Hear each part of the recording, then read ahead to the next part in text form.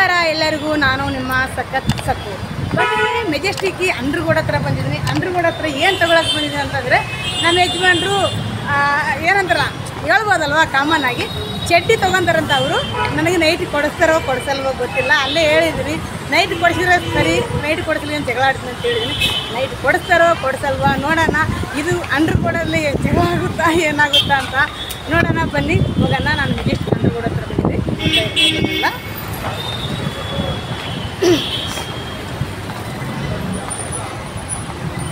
ಇಲ್ಲಿ ಸಂತೋಷ ಥಿಯೇಟರ್ ಅಂತ ಇದೆ ಅಲ್ಲಿ. ಅಲ್ಲಿಂದ ಬಂದರೆ ಅಣ್ಣಮ್ಮ ದೇವಸ್ಥಾನ ಬರ್ತದೆ ಮುಂದೆ. ಬನ್ನಿ, ಹೋಗೋಣ ಮುಂದೆ. ಇಲ್ಲಿ ನೋಡ್ತಾ ಇರ್ಬೋದು ನೋಡಿ.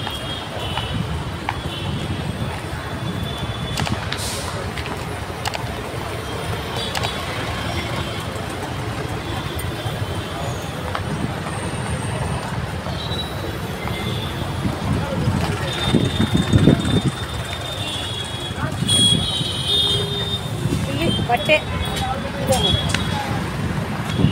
ಬಟ್ಟೆ ಐಟಮ್ಗಳು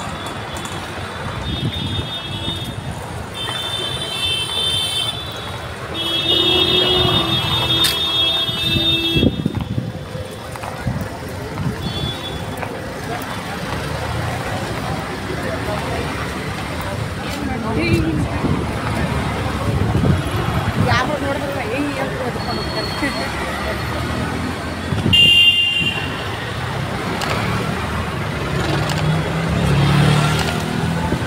ಇಲ್ಲೇ ಎರಡು ಥಿಯೇಟ್ರ್ ಇದೆ. ಮೆಜೆಸ್ಟಿಕ್ ಪಕ್ಕ. ನಮ್ಮ ದೇವಸ್ಥಾನ ದಾಟ ತಕ್ಷಣನೇ ಒಂದು, ಎರಡು, ಮೂರು, ನಾಲ್ಕು.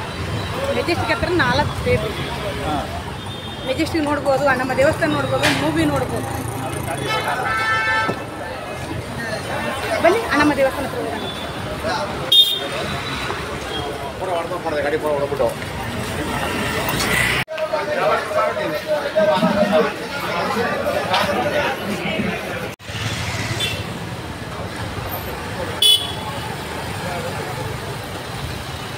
ಬೆಂಗಳೂರಲ್ಲಿ ದೇವಸ್ಥಾನ ಶುಕ್ರವಾರ ಶುಕ್ರವಾರ ಒಂದು ಮಂಗ್ಳೂರು ಮಂಗಳೂರು ಕಮ್ಮಿ, ಶುಕ್ರವಾರ ಜಾಸ್ತಿ ಅಮ್ಮ ದೇವಸ್ಥಾನ. ಇಲ್ಲಿ ಮೆಜೆಸ್ಟಿಕ್ನಿಂದ ಅಂತ ಬಂದರೆ ಹತ್ರ ಆಗುತ್ತೆ ಇಲ್ಲಿಂದ ಇಲ್ಲ ಸುತ್ತಾಕೊಂಡು ಬರ್ಬೋದು. ಗಾಡಿ ಇಲ್ಲಿ ಬರಲ್ಲ. ಸುತ್ತಾಕೊಂಡು ಬರ್ಬೋದು. ಇಲ್ಲಾಂದರೆ ಬರ ಗಾಡಿಯಲ್ಲಿ ಪಾರ್ಕ್ ಹಾಕಿ ಇಲ್ಲಿ ಬರ್ಬೋದು. ಅಣ್ಣಮ್ಮ ದೇವಸ್ಥಾನ ಹತ್ರ. ಅಂತ ಬಂದರೆ ಹತ್ರ ಆಗುತ್ತೆ ಅಣ್ಣಮ್ಮ ದೇವಸ್ಥಾನ. ಬೆಂಗಳೂರಲ್ಲಿ ಏನಿರೋದಂದ್ರೆ ದೇವಸ್ಥಾನ ಅಣ್ಣಮ್ಮ ದೇವಸ್ಥಾನ. ಶುಕ್ರವಾರ ಅಲ್ವಾ? ಜಾಸ್ತಿ ಜನ ಇಲ್ಲಿ ಕೈ ಕಾಲು ತಕ್ಕೊಂಡು ಒಳಗಡೆ ಹೋಗ್ಬೇಕು.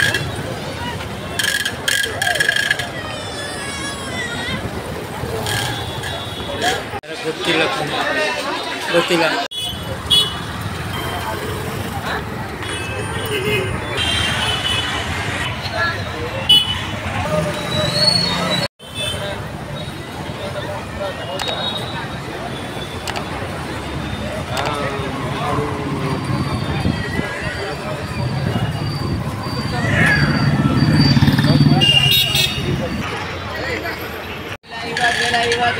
ನೂರು ರೂಪಾಯಿ ಎರಡು ನೋಡ್ರಿ Velu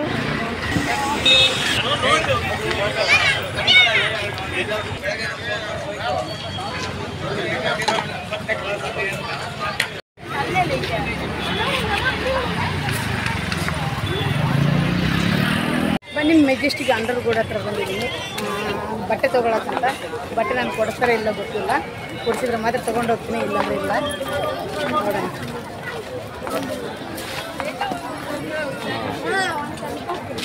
రంగోలికి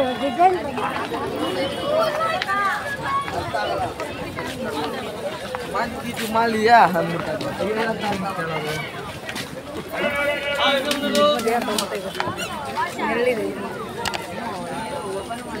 Masalah. Masalah? Yang kecil deh.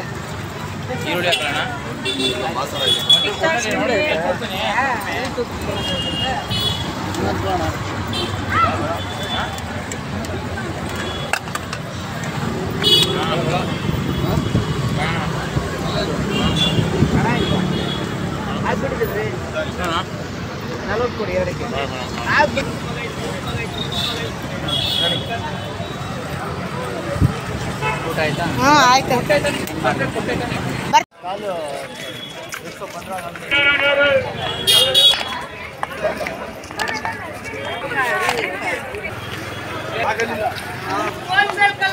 ಮುನ್ನೂರು ರೂಪಾಯಿ ತಗೊಳ್ಳಿ. ಅವನು ಕಳ್ಳ ಅವನೇ. ಅವನೇ ಅವನೇ ಅವ್ರಿಗೆ ಗೊತ್ತಿರ್ತದೆ ನೋಡಿ ಗೊತ್ತಿದ್ದವ್ರು ಗೊತ್ತಿರ್ತದೆ ಗೊತ್ತಿಲ್ಲಾರ್ದ ಕೇಳ್ತಾರೆ.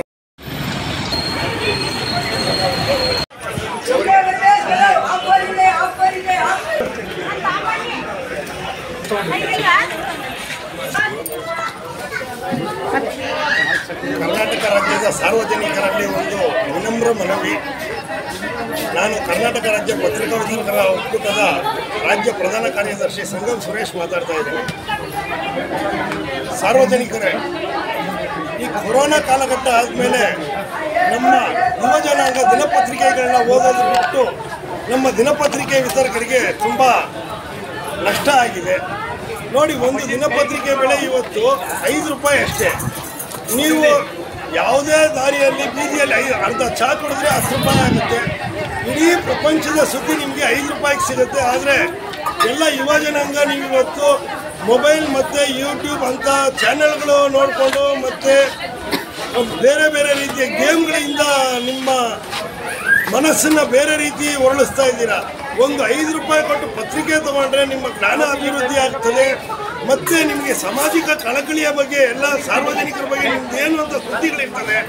ಆದ್ರಿಂದ ದಯವಿಟ್ಟು ಎಲ್ಲ ಯುವಜನಕರು ಯುವಜನರು ಮತ್ತೆ ವಿದ್ಯಾರ್ಥಿ, ವಿದ್ಯಾರ್ಥಿನಿಯರು, ಐದು ರೂಪಾಯಿ ಕೊಟ್ಟು ಒಂದು ದಿನಪತ್ರಿಕೆ ತಗೊಳ್ಳಿ.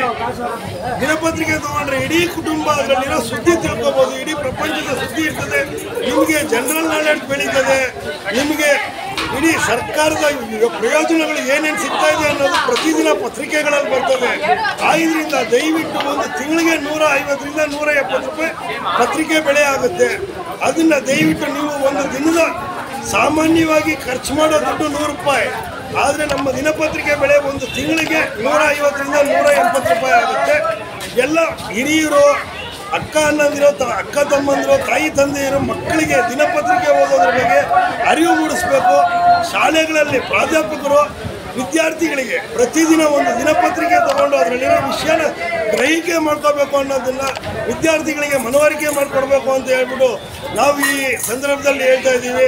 ನಾವು ಇಲ್ಲಿ ಮೆಜೆಸ್ಟಿಕ್ಕಲ್ಲಿ ಸಭೆಯಲ್ಲಿ ವ್ಯಾಪಾರ ಮಾಡ್ತೀವಿ. ನಮ್ಮ ಹತ್ರ ಎಲ್ಲ ರೀತಿ ಪುಸ್ತಕಗಳು ನಿಮಗೆ ಸ್ಪರ್ಧಾತ್ಮಕವಾಗಿರೋ ಪುಸ್ತಕಗಳು ಪ್ರೌಢ ಪೌರಾಣಿಕ ಪುಸ್ತಕಗಳು ಭಗವದ್ಗೀತೆಯಿಂದ ಇಟ್ಕೊಂಡು ಎಲ್ಲ ರೀತಿ ಪುಸ್ತಕಗಳು ಸಿಗುತ್ತೆ.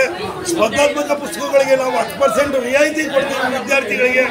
ದಯವಿಟ್ಟು ಎಲ್ಲ ವಿದ್ಯಾರ್ಥಿಗಳು ಮತ್ತು ಸಾರ್ವಜನಿಕರು ಓದೋ ಅಭಿರುಚಿ ಬೆಳೆಸ್ಕೊಳ್ಳಿ. ದಿನಪತ್ರಿಕೆ ಓದಿ ನಮ್ಮ ದಿನಪತ್ರಿಕೆ ವಿತರಣೆ ಸಮೂಹನ ಬೆಳೆಸಬೇಕು ಅಂತ ಕೇಳ್ಕೊತಾ ಇದ್ದೀನಿ ಈ ಸಮಯದಲ್ಲಿ. ದಯವಿಟ್ಟು ಎಲ್ಲರೂ ದಿನಪತ್ರಿಕೆ ಓದಿ ನಮ್ಮನ್ನು ಪ್ರೋತ್ಸಾಹಿಸಬೇಕು ಅಂತ ಕೇಳ್ಕೊತಾ ಇದ್ದೀನಿ.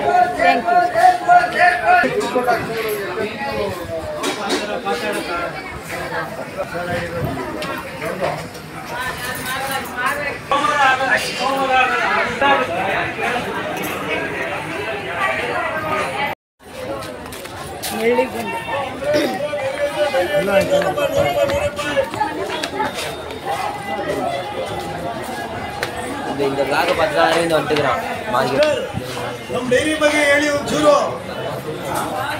ಹಂಗೆ ಹೋಗ್ತಾ ಇವ್ರ ಇದ್ದೀರಾ ಡೈರಿ ಬಗ್ಗೆ ಏನು ಹೇಳ್ಬೇಕು ಏನಿಲ್ಲ ಯಾರಿಗೆ ಹೇಳಿ ವ್ಯಾಪಾರ ಆಗ್ತಾ ಇಲ್ಲಂತೆ ನೀವೇನು ಬಂದು ತಗೊಳ್ಳಿ ನೂರು ರೂಪಾಯಿ ನೂರೈವತ್ತು ರೂಪಾಯಿ ನೀವು ನಾನ್ನೂರು ರೂಪಾಯಿ ಐನೂರು ರೂಪಾಯಿ ತಗೊಳ್ಳೋ ಡೈರಿಗಳು ಒಂದು ವರ್ಷ ಇಳಿಯೋದು ನೂರು ರೂಪಾಯಿ ಸಿಗ್ತದೆ ಇನ್ನೂರು ರೂಪಾಯಿ ಇನ್ನೂರು ರೂಪಾಯಿ ಇನ್ನೂರು ರೂಪಾಯಿ ನೋಟ್ಬುಕ್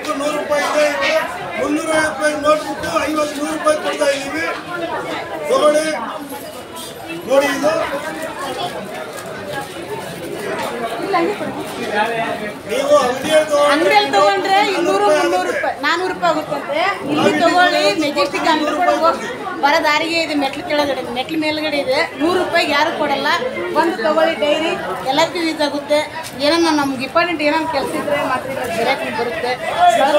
ಕಥೆ ಬರಿಬೋದು ಡಿ ಕೆ ಶಿವಕುಮಾರ್ ಕಥೆ ಬರಿಬೋದು ಅತ್ತೆ ಸೊಸೆ ಕಥೆ ಬರಿಬೋದು ಫ್ರೀ ಬಸ್ ಕಥೆ ಬರಿಬೋದು ಅತ್ತೆ ಅತ್ತೆ ಗಂಡ್ರು ಬಿಟ್ಟು ತವ್ರ ಮನೆಗೆ ಹೋದ್ರೆ ಎರಡು ದಿನ ಕಟ್ಟಿಗೆ ಮಾಡ್ಬೋದಾ ಅದ್ರ ಕಥೆ ಸ್ವಾಸ ಸ್ವಾರಸ್ಯಕರವಾಗಿದ್ರೆ ನಾಲ್ಕು ಜನಕ್ಕೆ ಉಪಯೋಗ ಆಗೋದಾದ್ರೆ ಬರಿಬೋದು. ನೋಡಿ. ಕಹಿ ಘಟನೆಗಳನ್ನ ಬರೆಯೋದಕ್ಕೆ ಹೋಗ್ಬೇಡಿ ಬರೀ ಸಿಹಿ ಘಟನೆಗಳನ್ನ ಬೆಳಕಾಕಿ. ಈ ಡೈರಿಲಿ ಎಲ್ಲ ಈ ಡೈರಿ ಸಾಮಾನ್ಯ ಡೈರಿ ಅಲ್ಲ ರೀ. ಎಲ್ಲಾರು ಹೆಸರು ಬರ್ಬೋದು ಇದರಲ್ಲಿ? ಬರೇ ನೂರು ರೂಪಾಯಿ. ಪೆನ್ ಕೊಡ್ತೀರಿ ಪೆನ್ ಐದು ರೂಪಾಯಿ ಪೆನ್ ತಗೋಬಹುದು ನೀವು. ಬರೆಯೋಕೆ ಬುಕ್ ಕೊಡ್ತಾರೆ. ಹೆಣ್ಣು ಮಾತ್ರ ತಗೋಬೋದು? ಐದು ರೂಪಾಯಿ ಕೊಟ್ಟು. ಬಂದು ತಗೊಳ್ಳಿ ನೂರು ರೂಪಾಯಿದಾಗ ಏನು ಬರಲ್ಲ. ಇವಾಗಲೂ ಏನು ಚೆನ್ನಾಗಿದೆ? ಮಳೆಗೂ ತೊಳೆಯಲ್ಲ ಏನಿಲ್ಲ. ಚೆನ್ನಾಗಿದೆ ನೋಡಿ ಕವರ್ ಹಾಕಿ ಕೊಡ್ತಾರೆ? ಬನ್ನಿ ಅಂಡ್ರು ಕೂಡ ಬರ್ತಾರೆ ಬಂದು ನಿಮ್ಮ ಹೆಸರು ಹೇಳಿ. ಸಂಗಮ್ ಸುರೇಶ್ ಅಂತ. ಸಂಗಮ್ ಸುರೇಶ್ ಅಂತ ನೋಡಿ ಅವ್ರ ಮುಖ ನೋಡ್ಕೊಳ್ಳಿ ಹೀಗೆ. ಏನಾರು ಡೈರಿ ತಗೋಬೇಕಾದ್ರೆ ಮೆಜೆಸ್ಟಿಕ್ ಬಂದರೆ ಇವ್ರ ಹತ್ರ ತಗೊಳ್ಳಿ ಬಂದು.